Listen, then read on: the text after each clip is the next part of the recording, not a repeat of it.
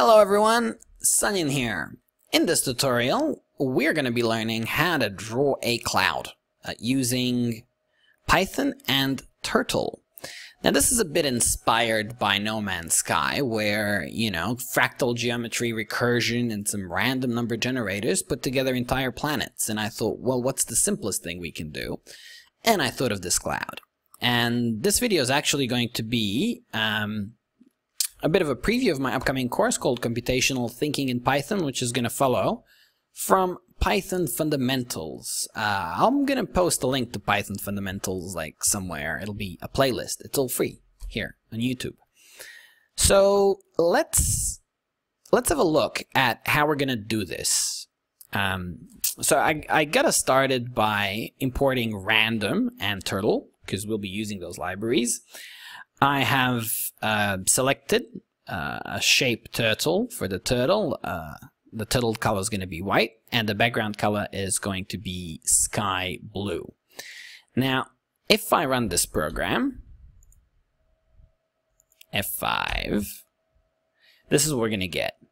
So first thing we're going to try is we're going to try to draw a circle, and then a half circle, and then a series of half circles, and then the series is going to wrap around each other until it forms a cloud, and we'll figure out how to close the last edge. So the way we draw a circle is simply you go forward and turn, forward and turn, and, and that way you sort of wrap around um, a certain central point. So it's just going to go turtle dot forward.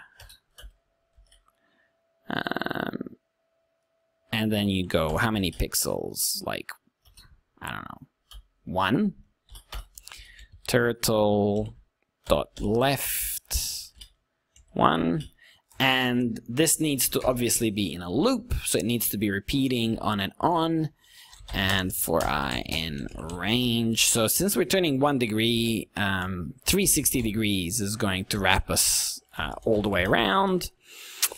And Let's just see if this works.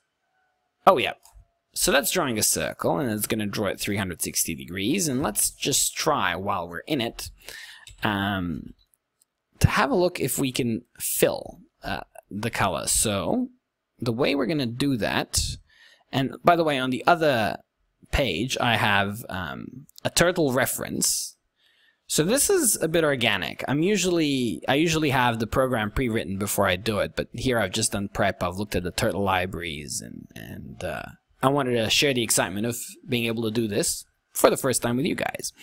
So yeah, turtle dot we already have. We need to specify turtle dot fill color here.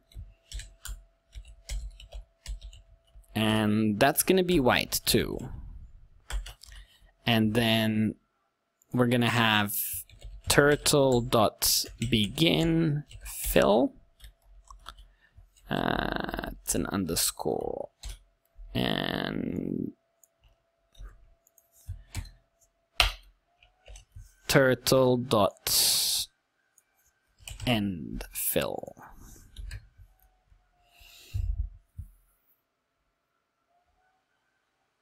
So let's see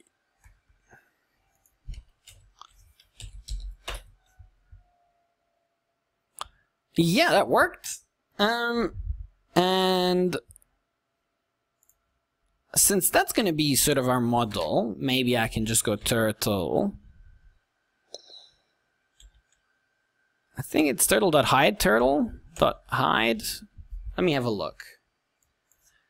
Hide. Yeah. So it's turtle dot hide turtle. Where's my hide? Yeah. Turtle dot hide turtle. So turtle.hide turtle. And this time when I run it, the turtle should disappear at the end. And so we're going to have our starting code and our finishing code, and now we're going to have to figure out how to simplify it. So the first thing I can think of is that the arc is too big. So we're going to need to get that turtle to turn tighter. And I'm going to change this to 3 degrees. Um, and it can also run faster. So if it was going to let's see, let's see. If we turned 9 and went forward 3 pixels, it's just 3 pixels. Okay, that's a... obviously we shouldn't be repeating it so much. So if we're turning 9 degrees, 360 divided by 9,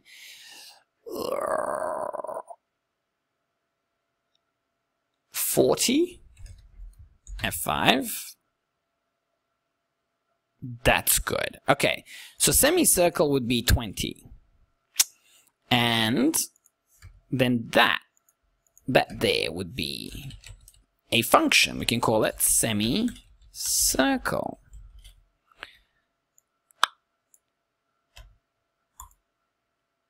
Okay, so that's a semicircle function. And we are going to put our function definitions above the begin fill. So in effect, this is our program.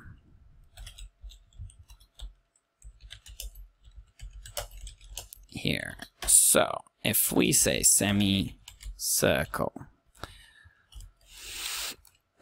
so this is going to draw half a circle and stop. Oh, and it fills it. Wow, we don't even have to sort of match the last bit. Let's have a look. You know, this program could be even easier than I thought.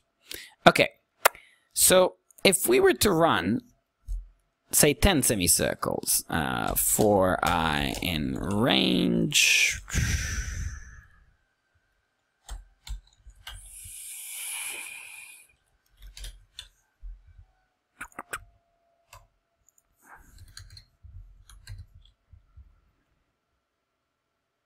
Okay, there's a problem.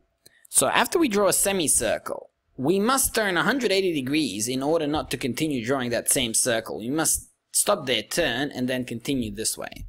So semicircle, turtle, how did that happen? Turtle dot left 180. Okay.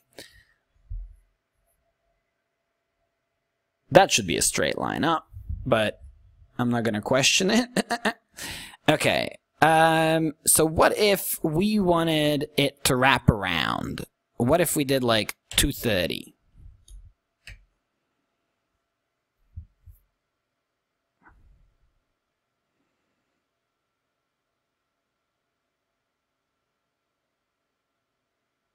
That's a bit too much. But that's that's much faster than expected.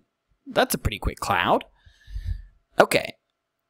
So, what if, instead of turning 230, what if we were to generate a random number? So, um, I'm just going to come up with a function that says turn random. And I'm going to define it here as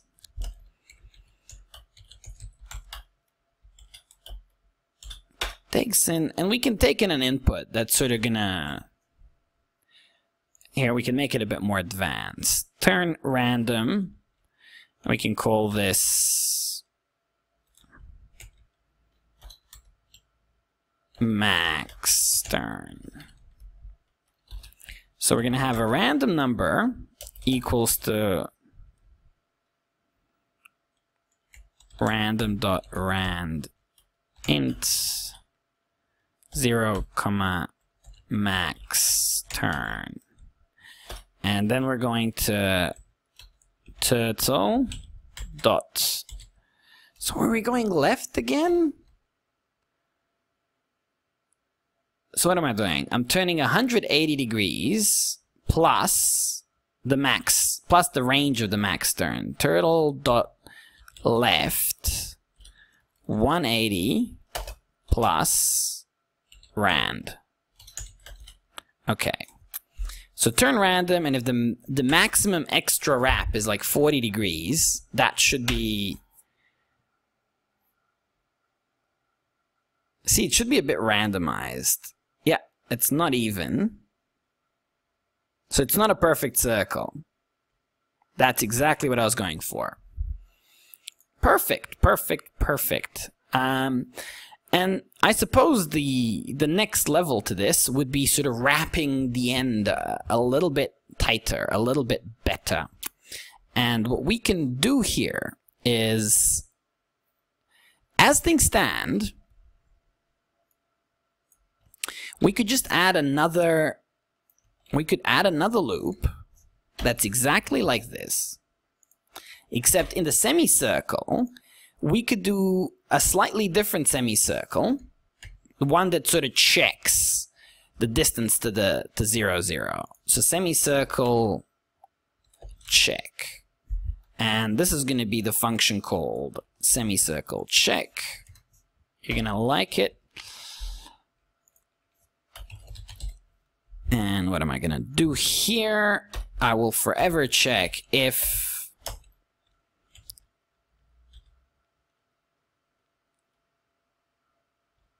turtle dot distance the zero comma zero um,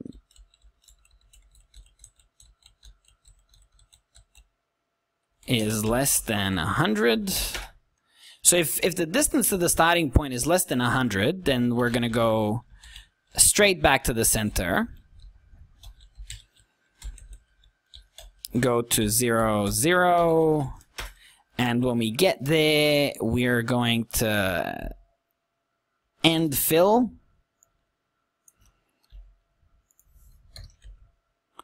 We're going to hide turtle. And we should take, like, we should try to get this to be the end of the program. Um, but if we return... See, I don't think break is going to work here. Let's just try this. Let's just try this. So we can keep this one going forever in theory. Um, let's see.